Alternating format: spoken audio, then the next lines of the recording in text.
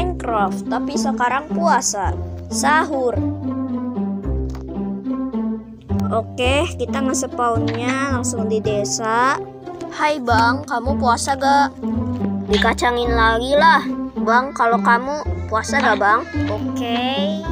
Kita ambil jerami dulu buat persiapan buka puasa.